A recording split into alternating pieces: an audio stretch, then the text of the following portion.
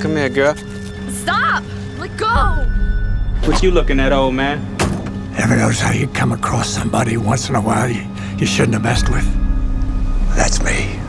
Man, you crazy, man. Get out of here, man.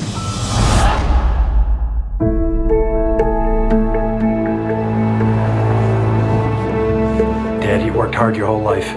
Maybe it's time you started thinking about taking it easier. These places are nothing like what you'd think they'd be. They're great. Kicking us out on his birthday. I told you this was a bad idea. What the hell these Chinese have to move in this neighborhood for?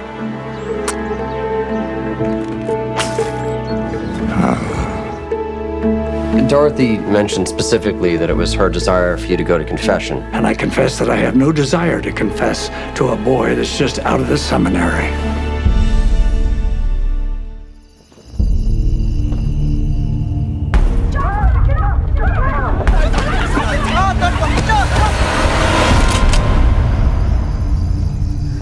Get off my lawn. You better watch your back.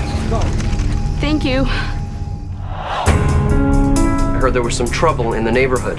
Why didn't you call the police? I prayed that they would show up, but nobody answered. Why are you bringing me all this garbage anyway? Because you saved Thao. I didn't save anybody. You're a hero to the neighborhood. I'm not a hero. We're having barbecue. You want to come over? We've got beer too. I might as well drink with strangers.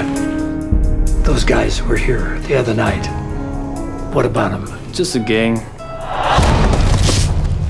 And here's the deal. You stay away, because if I have to come back here again, it's gonna be ugly.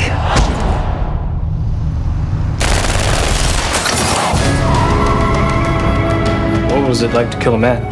You don't want to know. Thao and Sue are never gonna find peace in this world as long as that gang's around. What are you gonna do, Walt? whatever it is, they won't have a chance.